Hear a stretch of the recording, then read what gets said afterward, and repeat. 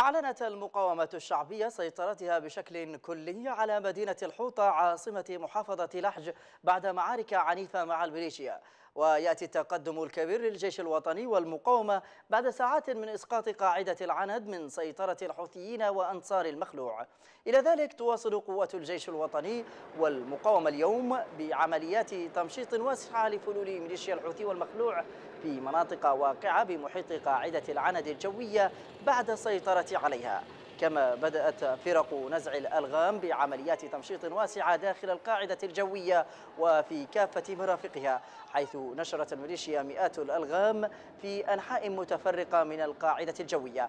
وكانت شهدت القاعدة الجوية يوم أمس معارك عنيفة أوقعت عشرات القتلى في صفوف الحوثيين.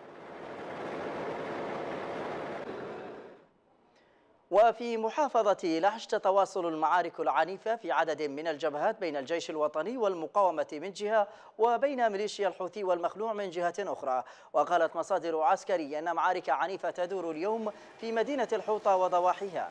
وسط تقدم كبير للمقاومة في عدد من الأحياء والمناطق تمهيدا لتحرير المدينة كليا. إلى ذلك تتواصل المعارك في معسكر لبوزة وعدد من الجبال الواقعة بين المعسكر وقاعدة العند الجوية.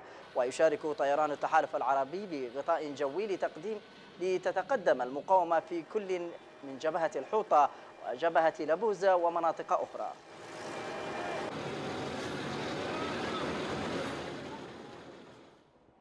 ومع التقدم الكبير للجيش الوطني والمقاومة في لحج يبدأ فصل جديد لانهيار ميليشيا الحوثي بعد أسابيع من الضربة القوية التي تعرضت لها في عدن. وتعتزم الحكومة عقب هذا الانتصار التقدم في عدد من المحافظات ابتداء من تعز والضالع ووصولا إلى العاصمة صنعاء.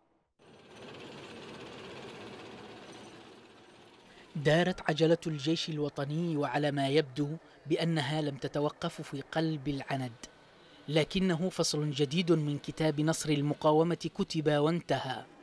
حسمت قوة الجيش الوطني المعززة بالمقاومة المعركة وانقشع غبارها عن وقوع قتلى وأسرى وفرار العشرات من عناصر الميليشيا إلى محيط القاعدة.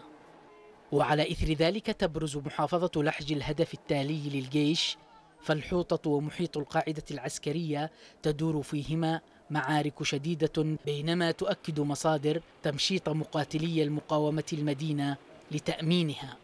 تحرير العند جرى بقوة وطنية مدعومة بخبراء من قوات التحالف برا وجوا وبذلك تكون المقاومة أحرزت هدفا استراتيجيا كاشفة ظهر الجماعة المتمردة وحليفها الرئيس المخلوع.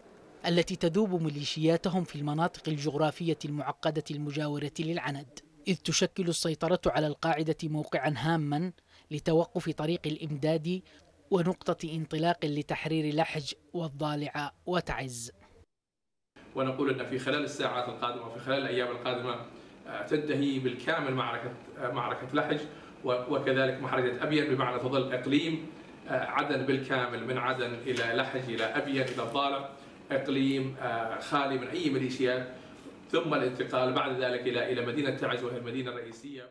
قاعدة العند ومعسكر لبوزة ومثلث العند مواقع حيوية اكتملت معالمها بالنسبة للمقاومة لكن الصورة لم تكتمل في لحج كمفتاح لتحرير المدن القريبة منها.